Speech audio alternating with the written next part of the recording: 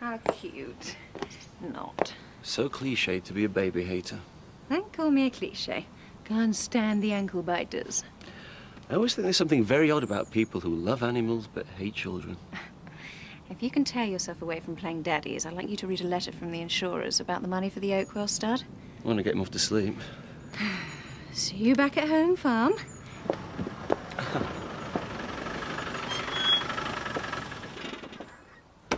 Steve, we've had vandals. Someone's gone and chucked all, old chairs and benches in Holiday Village swimming pool. Well, you better roll them out then, hadn't you? Oh, come on, mate. There's only me, and that garden furniture's heavy, you know. Morning, Steve. Roy, I'll get straight to the point. Have you got any labouring jobs?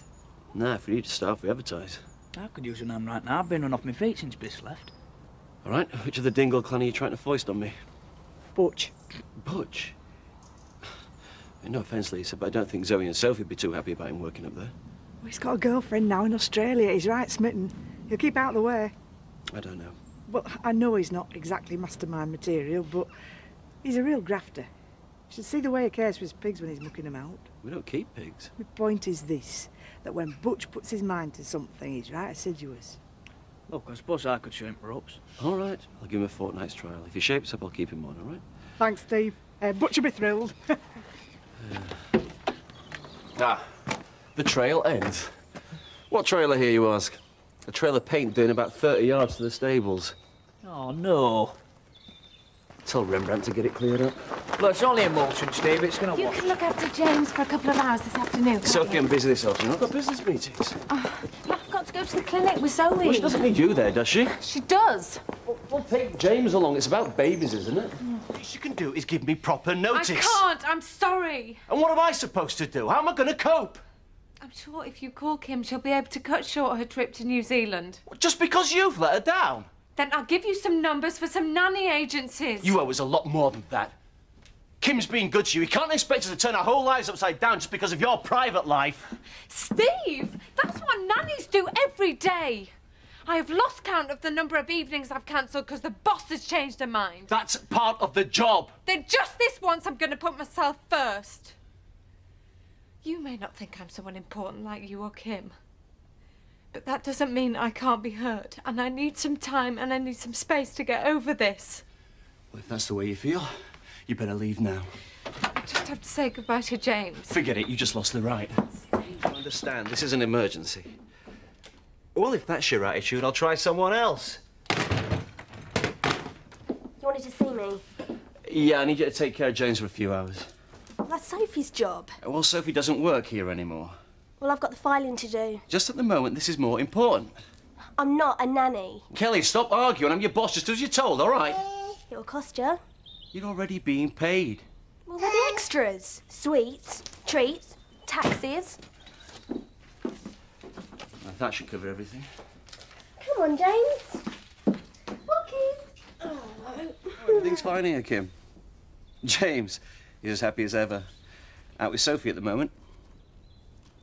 I miss you too. I'll see you when we get back, darling. Bye bye. Why didn't you tell her? I don't want to worry you.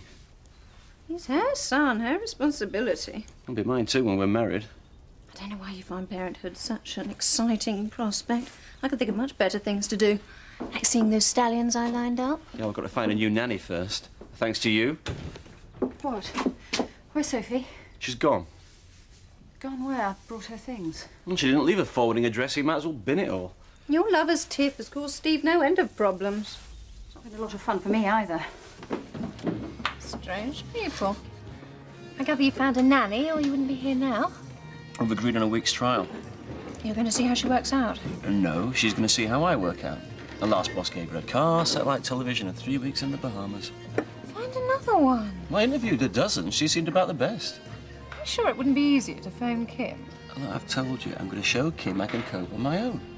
Well, as long as you know what you're doing, I think she'll be furious when she finds out. This must be an experience for you, mixing with the plebs. Well, we just say this was a working lunch. I'm not happy with the condition of the staff at Home Farm. And why? Aren't they kneeling in your presence? They're just sloppy, insolent, ignorant, and badly trained. If you mean Kelly Windsor, she's not representative. Anyway, she was hired by Chris. Presumably not for her typing skills. I think even Kelly's worked in more offices than you have. It bothers you, doesn't it? The fact that I've got money. No, just the fact you've done nothing to earn it. Don't worry, Steve. When the revolution comes, you can put me against the wall and shoot me. I've Leave, or should I call the police? There's no need, he's going. Next time you've got a score to settle, do it in your own time, not ours. How is it you described the staff here? Pleasant and efficient, is that what you said? Day to find the stud book. The staff go round doing anything but the work they're paid to do. And the business is in a mess. Well, thank you for that constructive overview. You spent more time in the last few weeks playing with James than working. James needed someone looking after him. Now that's sorted, I can concentrate on the stud venture. Not before time. Kim's not going to be happy if she gets back from New Zealand and finds you've bankrupted her. Uh, that's not going to happen because, unlike you, I know about business, and the stud farm's a business like any other. No, it's not. It really helps to know about horses, and I do. I know far more than you, which wouldn't be difficult. What can I say? Mummy and Daddy never bought me a pony of my own. Of course you know about horses. It's your hobby. It's something to keep you interested. But I bet you never had to worry about where the money came from. So what do you know about business? Don't be so naive. You think having a title means I don't have to understand money? My family's had to struggle to survive. Don't tell me you're down to your last million. That's terrible. Look, Steve, we're partners. It would help if you could look past all that inherited wealth and credit me with a bit of intelligence. And what happened to the last person you went into partnership with? If you mean Alex, we all make mistakes. Alex was a waste of space. Do me a favor, just don't judge me by him. Or else? You could be in for a shock. Oh, sorry, wrong door. I thought this was a working office, not play school. Good morning, Steve. How are things going, Steve? I see how things are going. You're playing at being a dad while your staff do anything but work. Like who? Like that Glover boy for a start. He was very rude. That's just Roy. Sometimes you've got to make allowances. I don't have to. Anyway, he's a good worker. But I agree, we've all got to justify our existence. I suppose you mean me? I mean, all of us. Thanks to your husband's recklessness, we've got a lot to talk about. I know. Why don't we do it over lunch at the races? What races? The next meeting at Skipdale. I don't believe you. One minute you're criticising the staff, the next you're swanning off to the races. It's work. It'll be hard work justifying it. Horses are our business. I'm the only one round here who seems to understand them. In business terms, they're simply units. Even the form can be reduced to a simple equation. Really? Of course. Let's put it to the test. You and I will go to the meeting and each make bets of a thousand pounds. Scared? No, I enjoy the chance of a flutter. We'll do it then. It's no contest. We'll clear off. We'll get the runners and riders on the net, and I don't want you pinching my toes.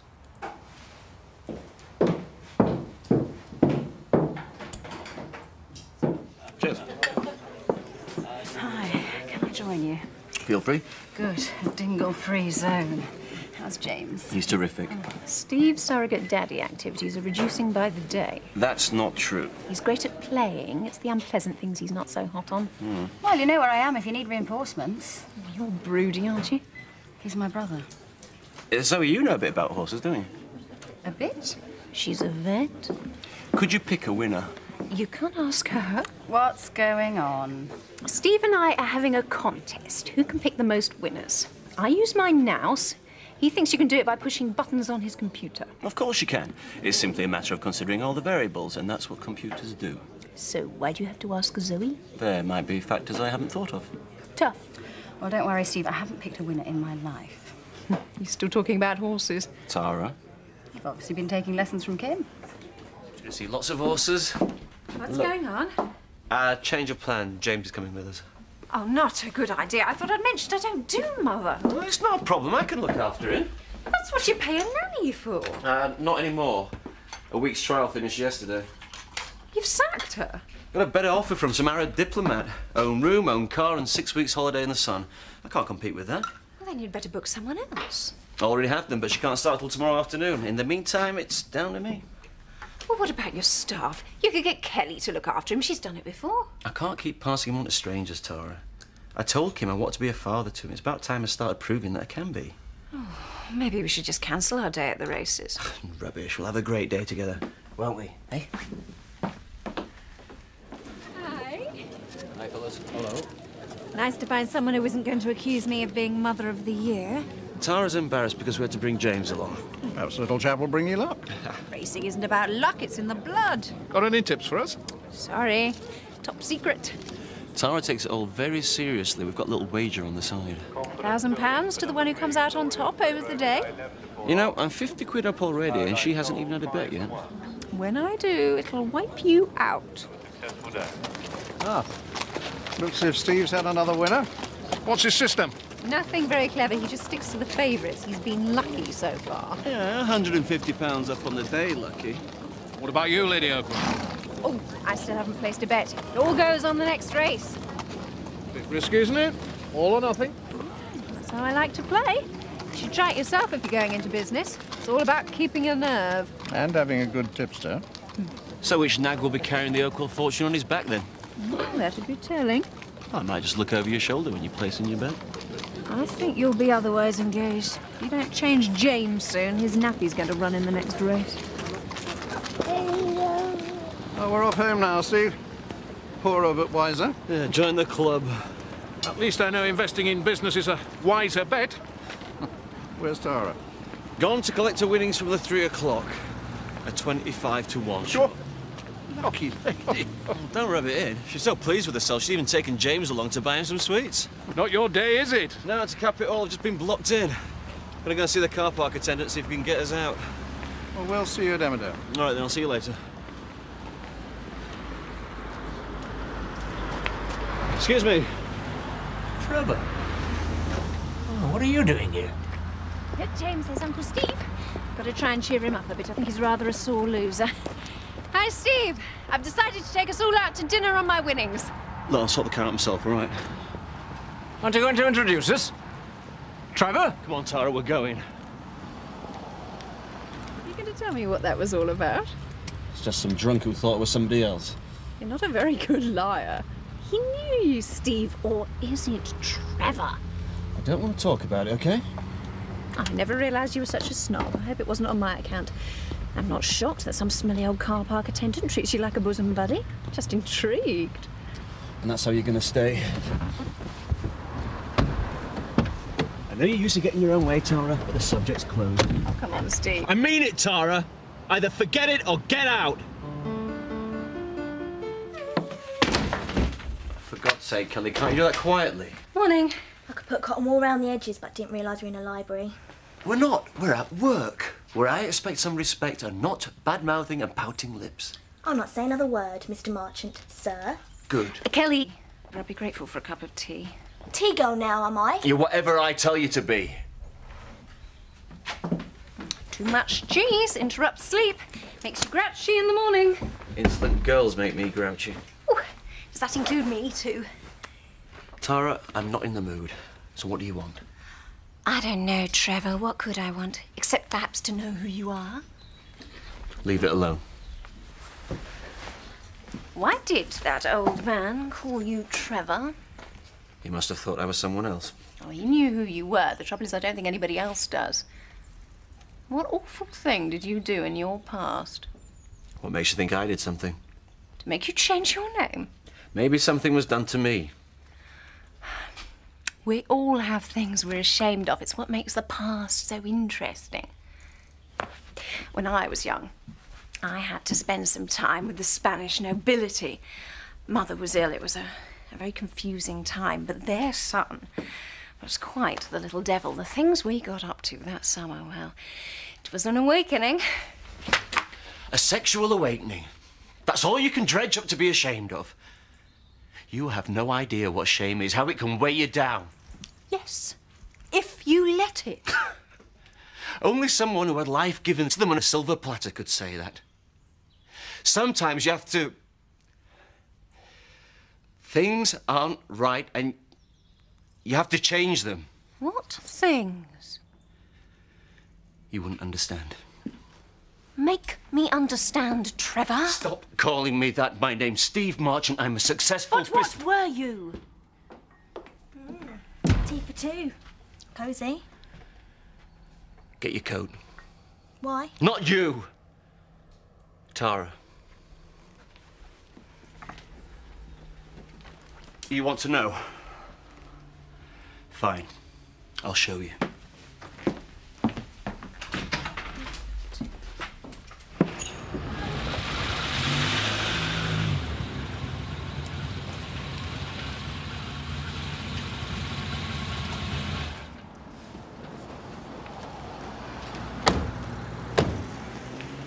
Feeling uncomfortable? No? I am. Come on.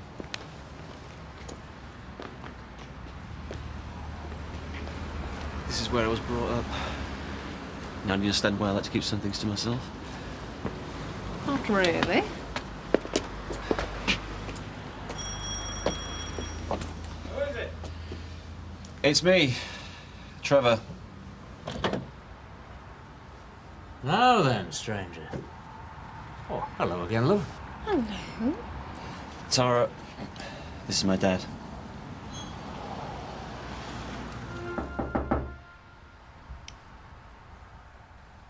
Relax, sit down. All right. You brought me here, remember? I've put the kettle on.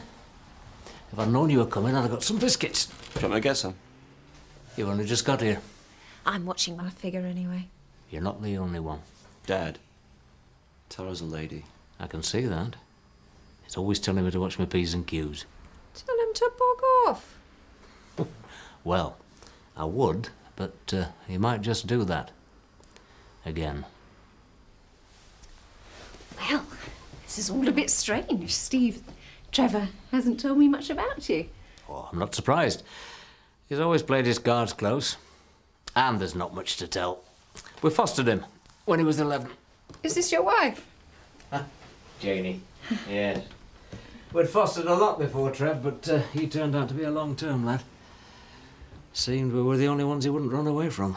Can't believe you still got that picture looking right proud. Aye, it's a good week that, Blackpool. And we didn't get many holidays. And your mum looked beautiful. I'll get some biscuits. Forget about them. Shop's just round the corner. If you want to go, go. But I don't need biscuits or anything else. Got some. Ah, I'll put the kettle on. Hey, you see? Always bringing me stuff I don't need. What are you doing? We won the school championships that year. I scored in the final. Dad screamed himself off, cheering me on.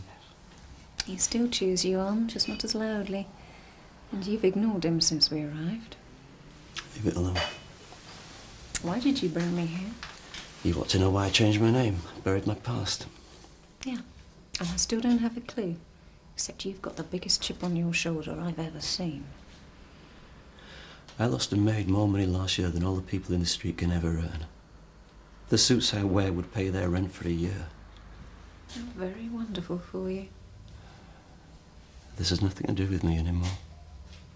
You can't just tip exit out, pretend it didn't happen. It's what's made you what you are. I made me what I am, nobody else. Well, then you've only got yourself to blame because you are a terrible snob. If you'd only bothered to learn something from your father. He's a kind, generous man, more of a success than you'll ever be. I thought you'd understand. Oh, I do. I understand perfectly. I thought you had a problem with my class, but you don't. You have a problem with yours. I'm very sad. Lovely motor, lad. Thanks. Perhaps I'll have a spin in it next time you come. Yeah, sure. It's been lovely. Mwah. Thank you. It's a pleasure, pet. Drive careful.